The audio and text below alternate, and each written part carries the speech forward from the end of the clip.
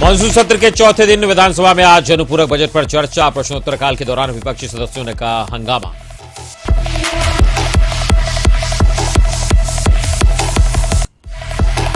विधानसभा के बाहर विपक्ष का प्रदर्शन, आरजेडी कांग्रेस माले ने अलग अलग मुद्दों को लेकर किया प्रदर्शन।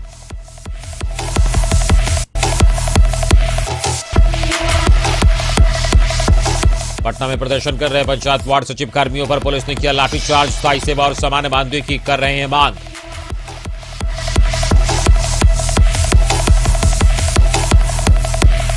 बालू खनन मामले में कार्रवाई जारी, पुलिस महानिदेशक के निर्देश पर बालू खनन मामले में फंसे तेरह पुलिस अफसर, सस्पेंड चार इंस्पेक्टर और नौ एसआई पर गिरी गाज। ग्यारह चाइनीज़ ड्रोन के साथ नेपाल बॉर्डर इलाके से एसएसपी ने शख्स को किया गिरफ़्तार, पूछताछ के बाद किया थाने के हवाले, वरीय अधिकारियों को दी गई जानकारी।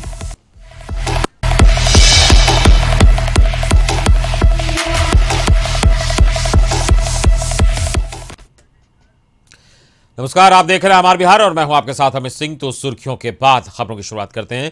बिहार सरकार के खनन भूतत्व मंत्री जनक राम ने अवैध बालू खनन मामले में हो रही कार्रवाई पर कहा कि राज्य में अवैध खनन पर रोक लगाकर ही सरकार दम लगी। इस मामले में चाहे जो भी दोषी हो, उन पर कार्रवाई होगी। उनसे बात की हमारे संवाददाता गौतम ने। जरा सुनिए उन्होंने क्या कहा। बिहार में बालू खनन को लेकर जो कहा जा सकता है कि बड़ी कार्रवाई है और खान भूतत्व मंत्री हमारे साथ है। सर उनसे जान लेते हैं। सर, एक बड़ी कार्रवाई आप लोगों ने की है, बड़ी उपलब्धि है। बिहार के लोगों को बालू सस्ता नहीं मिल पा रहा था। खनन माफियाओं के साथ जो व्यवहार चल रहा था अधिकारी भी इसमें शामिल थे। आप लोगों ने उन पर कार्रवाई कर दी। सबसे पहले तो बिहार के यशस्वी मुख्यमंत्री आदरणीय नीतीश कुमार जी को हम धन्यवाद देना चाहते हैं कि आदरणीय मुख्यमंत्री जी बार बार कहते हैं कि न हम किसी को फंसाते हैं, न किसी को बचाते हैं। तो बिहार के मुख्यमंत्री जी के निर्देशन में ये मेरे विभाग जो बड़े पैमाने पर आप सुनते थे कि अवैध कारोबार से भालू जुड़ा हुआ है, लेकिन इतनी बड़ी कार्रवाई हुई, उस कार्रवाई से हड़कम मचा हुआ है। और सरकार का एक मकसद है कि समय आम लोगों को सरकारी प्रोजेक्ट हो या प्राइवेट प्रोजेक्ट हो, वो आम लोगों को बालू मुहैया कराना। और जो सरकार निर्धारित बालू को रेट तय किया है, उस रेट पे बालू को लोगों के बीच में ले जाना। चलिए आगे आगे बढ़ते हैं खबरों में। भाजपा के विधायक और मंत्री नितिन नवीन ने टीएमसी सांसद के बयान को लेकर तेजस्वी यादव को निशाने पर लिया उन्होंने कहा कि अब तो ममता बनर्जी के भतीजे तेजस्वी यादव का जवाब देना चाहिए। बता दें कि टीएमसी सांसद पर बिहारियों को गुंडे कहने का आरोप लगा है। ऐसे लोगों पर कार्रवाई की भी होनी चाहिए। देखिए जो प्रक्रिया है जो संसद में जो इस तरह के अमर्यादित शब्दों का प्रयोग करते हैं उनको जनता जवाब देती है और समय आने पर जनता उनको जवाब सदन देगी में आवाज़ उठाइएगा इस पर। सदन में हमारी जो विषय है हम सदन में जिस प्रक्रिया से रखना होता रखेंगे।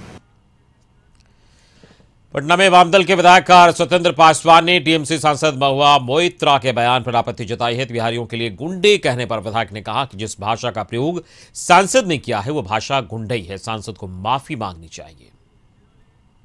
बिहार के लोग अपमान सहना नहीं जानते हैं। बिहार के लोग स्वाभिमानी होते हैं। और देश की आज़ादी जब मिली तरह के शब्द का इस्तेमाल करना बिहारी पर ये मानसिक दिवालियापन का द्योतक है। और महुआ मित्रा क्या डांसर है? उसकी इज़्ज़त और उसकी करतूत तो सब लोग जानते हैं इसलिए महुआ मिश्रा जैसे डांसर का हम कोई नोटिस नहीं लेते हैं। अपमान अपमानित महसूस कर रहे हैं आप बिल्कुल। वो दूसरे को अपमानित करेगी। उसका क्या क्रियाक्रम रहा है? पूरा हिंदुस्तान के लोग जानते हैं महुआ मित्रा को। वो बेस- बेसुध डांसर है और उसकी पॉलिटिक्स के अंदर एंट्री जो है, किन कारणों से हुई है, ये बंगाल नहीं, हिंदुस्तान जनता है। टीएमसी सांसद के बयान पर आरजेडी नेता भाई वीरेंद्र ने ममता बनर्जी से सांसद पर कार्रवाई करने की मांग की है। साथ ही उन्होंने बयान वापस लेने की भी मांग की। बिहार के लोग अपमान सहना नहीं जानते हैं। बिहार के लोग स्वाभिमानी होते हैं। और देश की आज़ादी जब मिली थी तो बिहार से ही आंदोलन शुरू हुए थे तो देश हमारा आज़ाद हुआ था। अगर बिहार को इस भारत से छांट दिया जाए तो भारत नाम का कोई चीज़ नहीं रहेगा। इसलिए बिहारियों के साथ कोई भी व्यवहार करता है, अगर बिहारी जिस दिन ये निश्चय कर लेगा कि हम किसी राज्य में नहीं जाएँगे तो वो सब राज मर जाएगा भूखमरी के कगार पर हो जाएगा बिना बिहारी का यह देश भारत नहीं है बयान वापस लेना चाहिए? निश्चित रूप से बयान वापस लेना चाहिए और टीएमसी के ममता बनर्जी से मैं कहूँगा कि वैसे एमपी पर कार्रवाई करना चाहिए जो बिहारियों के असमत पर आँच पहुँचाने का काम किया टीएमसी के सांसद के द्वारा बिहारियों को अपशब्द कह जाने पर कांग्रेस ने बड़ी सधी प्रतिक्रिया दी है। कांग्रेस विधायक शकील अहमद खान ने कहा है कि मुझे बिहारी होने पर घमंड है। उनका पूरा विवाद भाजपा के सांसद निशिकांत दुबे के साथ था इसलिए इस बारे में पूरा मामला देखने के बाद ही कहा जा सकता है। मैं तो एक प्राउड बिहारी हूँ। बिहारी होने पर मुझे बड़ा गर्व है। भारतीय जनता पार्टी के निशिकांत को बोला है ना? तो कोई विवाद होगा कोई बातचीत होगी? आपसी विवाद होगा मतलब भारतीय जनता पार्टी के निशिकांत को बोला है मुझसे सवाल किया तो मैं तो इस सवाल का जवाब इसमें निहित है कि मैं बिहारी होने पर घमंड करता हूँ। लेकिन उन्होंने निशिकांत ने बिहारियों पर किया है वाद विवाद किससे था? भारतीय जनता पार्टी के निशिकांत से वाद विवाद था ना? विवाद विवाद किससे हुआ है? ये तो कंटेक्स्ट ये तो? कंटेक्स्ट हमेशा कंटेक्स्ट देखना चाहिए। किसके साथ वाद विवाद हो रहा है? शकील साहब आप मानते हैं कि किसी के कंटेस्ट में लोग बिहारियों को गाली दे वो सही है? नहीं वो तो मैं कभी नहीं मानता। मैं कभी और आपको सीधे लिए चलते हैं तेजस्वी यादव प्रेस कॉन्फ्रेंस कर रहे हैं। जो अंतिम पैदान पे जब तक आपको जानकारी नहीं होगी तब तक आप उनके लिए बजट में एलोकेट नहीं कर सकते कोई आप योजना नहीं बना सकते। तो जानकारी होगी तो उसके हिसाब से उनके लिए योजना बनेगी और उनके लिए आर्थिक न्याय के लिए जो हो सकेगा, योजना बना करके उन गरीबों को, उन व्यक्तियों को हम लोग जो है, लाभ पहुँचा सकते हैं। इसमें आप लोगों ने भी कई बार प्रक्रिया, प्रतिक्रिया देखी होगी, मुख्यमंत्री जी की भी, नीतीश कुमार जी की। मुख्यमंत्री जी तो पार्ट है, एनडीए का। मुख्यमंत्री जी तो हिस्सेदार हैं, एनडीए का।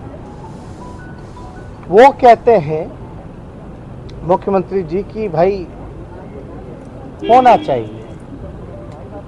लेकिन करेगा कौन? यहाँ तो डबल इंजन की सरकार है बिहार में। केंद्र सरकार ने स्पष्ट रूप से लिख करके मना कर दिया है कि नहीं गिनती कराई जाएगी। ओबीसी या अन्य जातियों की अति पिछड़ों की। हमारे ये मांग है, हम चाहते थे कि सदन में प्रस्ताव लाएँ, लेकिन बार बार बोलने के बाद भी हमको प्रस्ताव लाने से रोका जा रहा है। इसलिए रोका जा रहा है कि कहीं ना कहीं मुख्यमंत्री के लिए दुविधा ना बन जाए।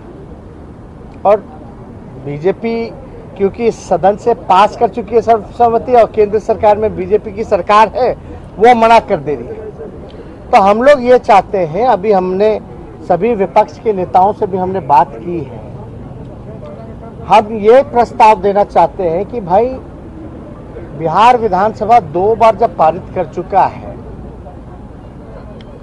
तो ये हमारा अंतिम मंजिल तक हम लोग इस मुकाम को पहुँचाए। और इसमें जिन कारण से नहीं हो रहा है, केंद्र सरकार ने क्यों मना किया, नहीं मना किया तो हमने ये प्रस्ताव दिया कि भाई एक विधानसभा की कमेटी बने, भले ही मुख्यमंत्री उसका नेतृत्व करें और प्रधानमंत्री से समय लेकर के हम लोग मिलने वहाँ जाएँ और ये हम लोग डिमांड जो है प्रधानमंत्री के सामने रखें। अभी फिर से हम लोगों की बैठक होने वाली है विपक्ष के नेताओं के साथ।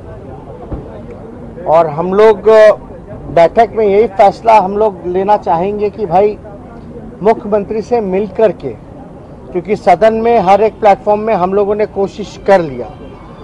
क्योंकि ये मुद्दा आप लोग जानते हैं, लालू जी शुरू से ही उठाते रहे हैं, हमारी पार्टी हमेशा से उठाती रही है।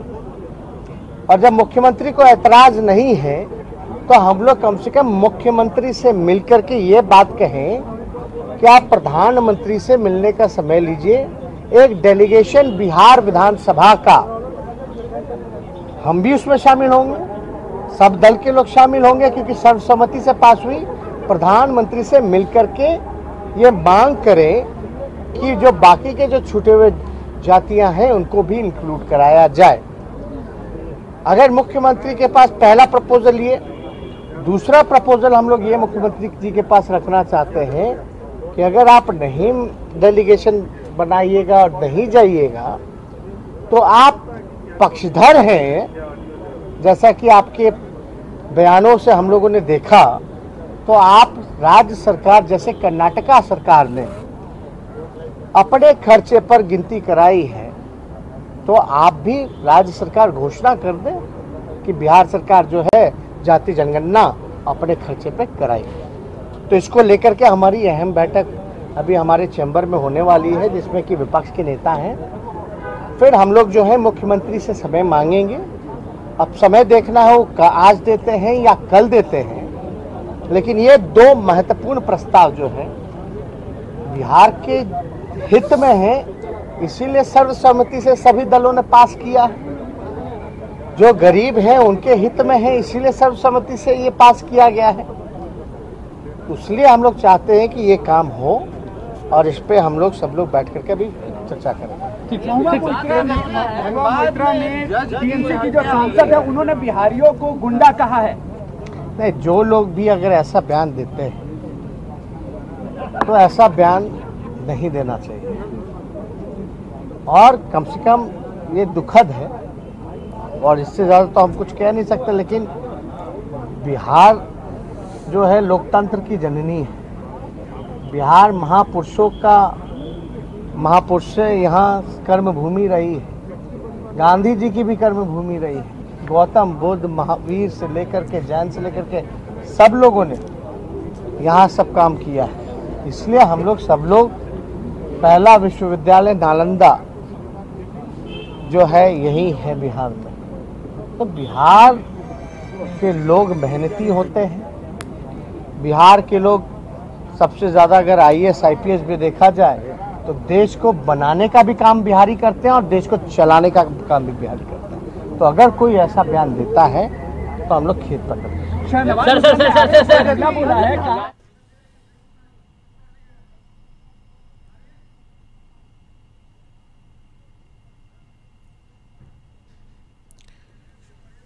तो जातीय जनगणना पर तेजस्वी यादव का बयान आया है। उन्होंने बोला कि जातीय जनगणना होनी चाहिए। तेजस्वी का बयान आया सदन में प्रस्ताव रखे रखने नहीं दिया गया। तेजस्वी यादव ने कहा सीएम से मुलाकात कर अपील करेंगे।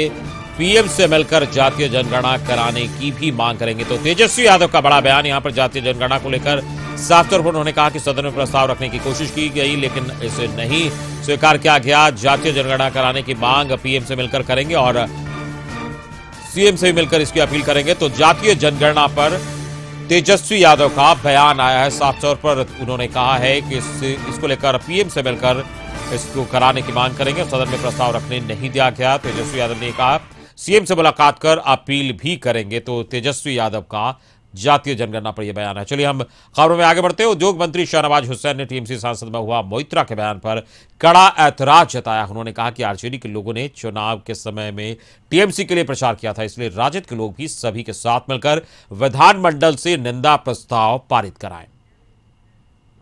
जब सवाल बिहार का हो और बिहार के लोगों को गुंडा कहा जाए ये चौदह करोड़ बिहारियों का अपमान है।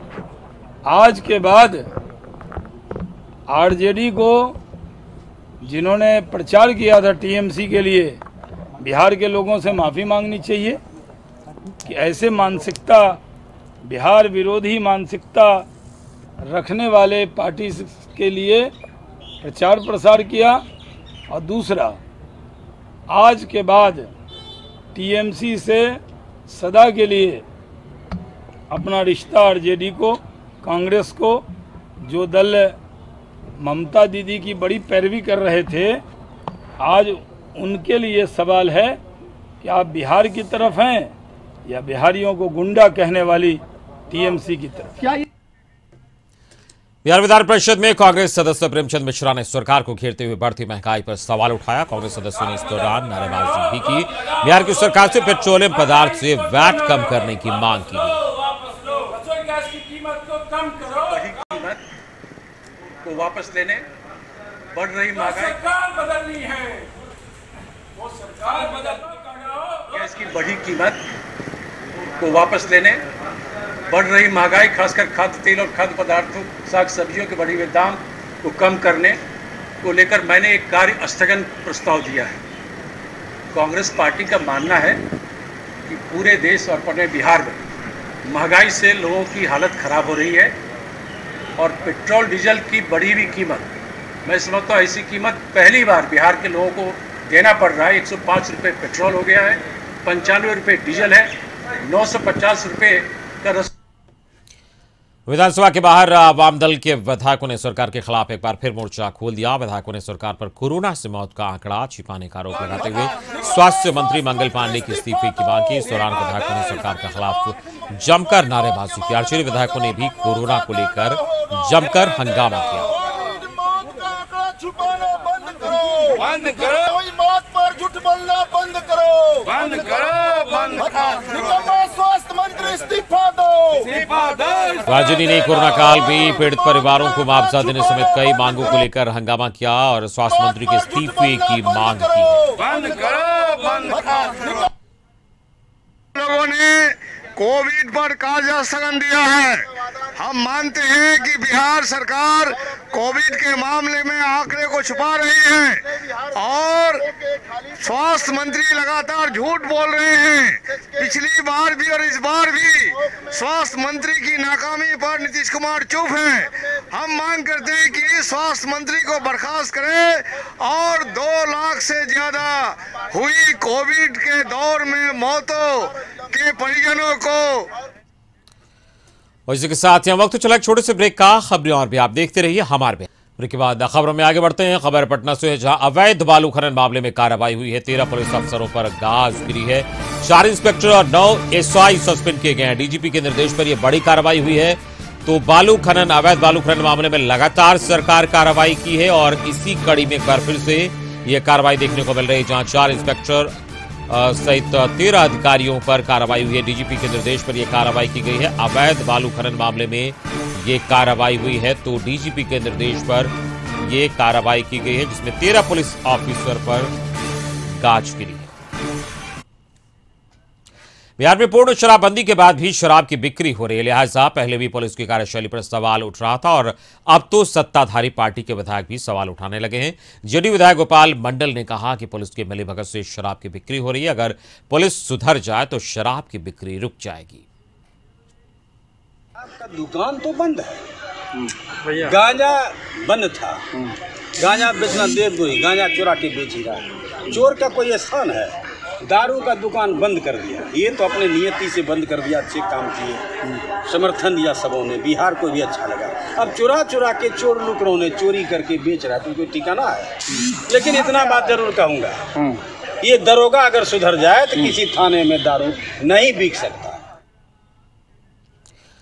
पटना में पंचायत वार्ड सचिव संघ के सदस्यों ने जमकर हंगामा किया। वार्ड सचिव विधानसभा मार्च के लिए निकले थे, लेकिन पुलिस ने पहले उन्हें गांधी मैदान के अंदर ही रोक लिया। हालाँकि वहाँ से वो ताला तोड़कर बाहर निकल गए और विधानसभा की तरफ़ बढ़ने लगे, लेकिन पुलिस ने उन्हें जेपी गोलंबर के पास रोक दिया, जिसके बाद वो वहीं पर हंगामा करने लगे और पुलिस बैरिकेडिंग को तोड़कर आगे बढ़ने की कोशिश करने लगे, जिसके बाद पुलिस को लाठीचार्ज करना पड़ा और पुलिस ने उन्हें वहाँ से खदेड़ दिया। दरअसल बिहार में एक लाख चौदह हज़ार छह सौ इक्यानवे वार्ड सचिव कार्यरत हैं। लेकिन पिछले चार सालों से पंचायत वार्ड सचिव का मानदेय सरकार ने नहीं दिया, जिसके विरोध में वो सड़कों पर उतरे थे। पहले से काम ले रहा है सरकार हम लोग के काम दे के भी छीन लिया है। ऐसा दो रणनीति क्यों अपना है सरकार हम लोग के साथ? सौतेला बिहार क्यों की है सरकार हम लोग सिर्फ़ सरकार की गलत निश्चित शोषण। एक तरफ़ सरकार कहती है चुनाव लड़ने के लिए उन्नीस लाख रोज़गार दिया जाएगा लेकिन एक लाख चौदह हज़ार को बेरोजगार किया गया है। इन लोगों को पहले वार्निंग दी गई थी कि आप लोग अब तितर बितर जाइए लोग फोर्स का इस्तेमाल कर रहे थे तो हमारे मजिस्ट्रेट साहब के द्वारा इनको वार्निंग दी गई थी। उसके बावजूद भी जब ये लोग वार्निंग नहीं सुन पाए और फोर्स का इस्तेमाल करते रहे तो हमारे द्वारा भी water cannon and all that सबको चलाया गया। सर छोटे भी आई हैं नहीं आ, हल्का फुल नहीं ऐसा कुछ बात नहीं है। हम लोगों ने पूरा सोच समझकर और जो भी रूल रेगुलेशन है उसके हिसाब से लाठी चार्ज किया है एकदम हल्का लाठी चार्ज किया। मधुबनी में हरलाखी थाना क्षेत्र के गंगौर से पुलिस ने ग्यारह चाइनीज़ ड्रोन के साथ एक व्यक्ति को गिरफ़्तार किया। बताया जा रहा है कि ड्रोन सुजुकी कार से लाया जा रहा था, जिससे ये पेपरॉन गाँव के निवासी विनय कुमार चला रहा था। गाड़ी को बॉर्डर पर तैनात एसएसबी के जवानों ने रोककर तलाशी ली तो उसमें ग्यारह चाइनीज़ ड्रोन कैमरा मिला पूछताछ में गिरफ़्तार। बिना ने बताया कि उसे एक चौक पर दो व्यक्ति ने ग्यारह ड्रोन दिया और कहा कि शहरघाट में सिकंदर कुमार नामक व्यक्ति को देना है। पूछताछ के बाद एसएसपी ने बरामद चाइनीज़ ड्रोन की सूचना वरीय अधिकारी को दी, जब सुजुकी कार सहित गिरफ़्तार विनय को हरलाखी थाना के हवाले किया गया है।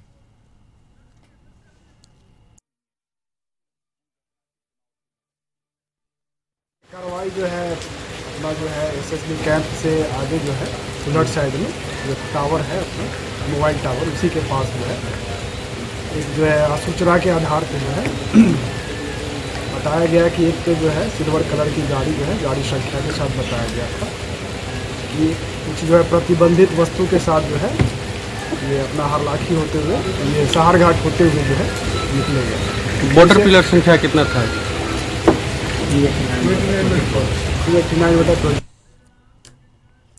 गोपालगंज से खबर है जहाँ बेखौफ अपराधियों ने हथियार के बल पर पेट्रोल पंप पर कार में तेल भरवाने के बाद कैश काउंटर से सत्तावन हज़ार रुपए की लूट कर ली।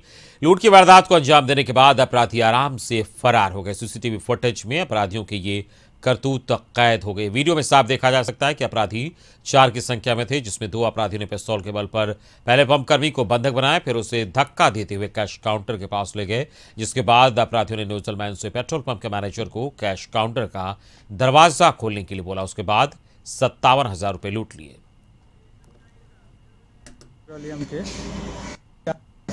सिवाया नज़र पर लगा दिया, गाड़ी को बोला कि फुल करो।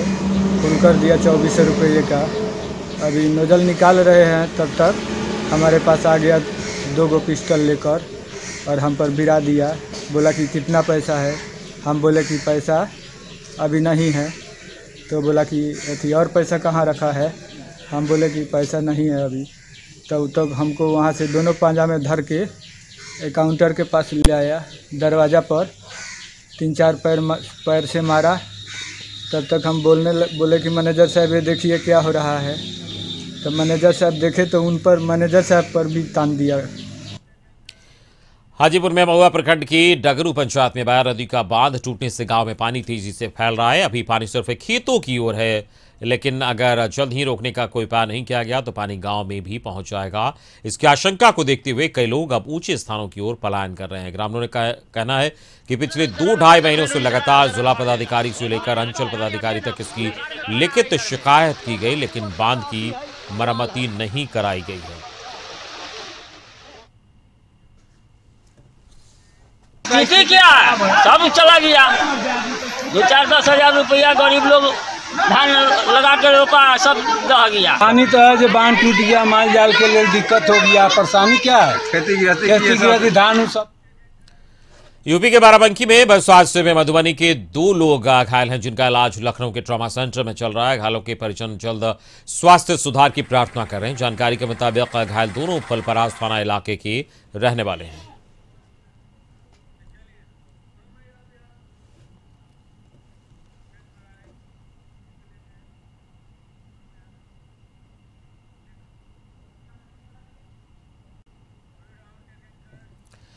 सीतामढ़ी में पुपरी थाना के सिंगियाही गाँव में पुराना मकान के गिरने से आठ लोग दब गए। इस हादसे में अस्सी वर्षीय गिरी स्वामी मोहम्मद उस्मान की मौके पर ही मौत हो गई। वहीं सात लोग घायल हैं, जिनका इलाज चल रहा है। हादसे में घायल सिमरन खातून ने बताया कि घर काफ़ी जर्जर हालात में था और पैसे की कमी के कारण घर को नहीं बनवाया जा सका, लेकिन आज सुबह अचानक घर गिर गया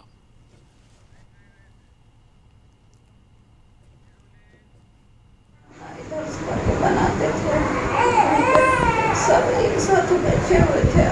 जी। भाई बहन सब भी एक ही साथ थे। पूरा आधा गिरा हुआ था घर। थोड़ा सा सरिया रहे थे कि अभी बारिश हो गया और जी। गिर जाएगा घर। रहने के लिए नहीं है। तो इसको सरिया रहे थे तो पूरा एक एक गिर गया। बैठे हुए थे तब सब आदमी बैठे हुए थे तो वही जगह समझे कि एक बैग गिर गया। उसमें कितने लोग इंजर्ड हुए और कितने लोग की मृत्यु हुई? और मृत्यु कितने लोग की आरा में आखिरकार रन देवी मंदिर को खोल दिया गया। आज भक्त माँ के दर्शन कर सकेंगे। बता दें कि मंदिर खोलने की मांग को लेकर बाँध मनोज बाबा समर्थकों के साथ आमरण अनशन पर बैठ गए थे और धीरे धीरे और भी लोगों ने समर्थन करना शुरू कर दिया, जिसे देखते हुए जिलाधिकारी के आदेश पर मंदिर को खोल दिया गया।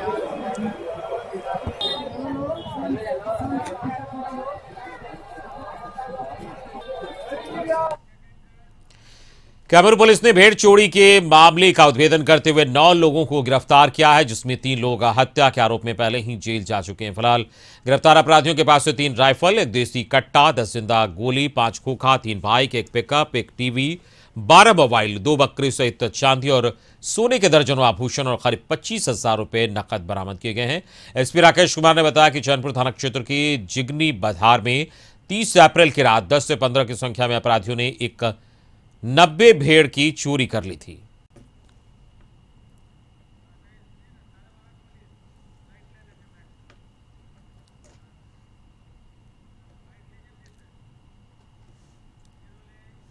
रात्रि में इसमें टीम को टेक्निकल सर्विलांस के आधार पर एक इनपुट प्राप्त हुआ था। उस इनपुट के बेस पे कैमूर जिला अंतर्गत ही डुमरैठ एक गाँव है गाँव है जहाँ पर रेड की गई। जहाँ पे सबसे पहले वज़ीर नामक एक अपराध कर्मी है जो पूर्व में भी हत्या के केस में जेल जा चुके हैं। उनकी गिरफ्तारी की गई, इसके साथ में उनके दो अन्य साथियों की भी गिरफ्तारी की गई, जिसमें से एक वज़ीर हैं और दूसरे सुरेश हैं। इन तीनों के पास से हम लोगों ने चार अवैध हथियार बरामद किए हैं। कुछ ज़िंदा कारतूस हैं, कुछ यूज़ किए हुए कारतूस भी हैं।